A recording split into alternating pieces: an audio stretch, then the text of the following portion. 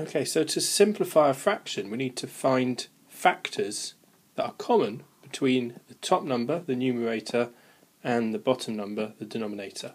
Since both these numbers have a zero, they're both divisible by 10. So I'm going to start by taking the factor of 10 out of both the numbers, dividing the top number by 10, get 27, divide the bottom number, and get 39.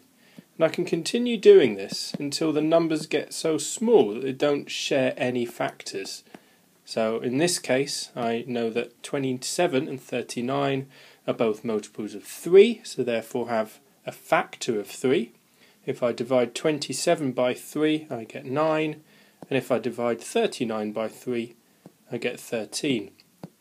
And there actually aren't any other factors that 9 and 13 share, so therefore I know that I have simplified the fraction. So 270 divided by 390 simplified is 9 thirteenths.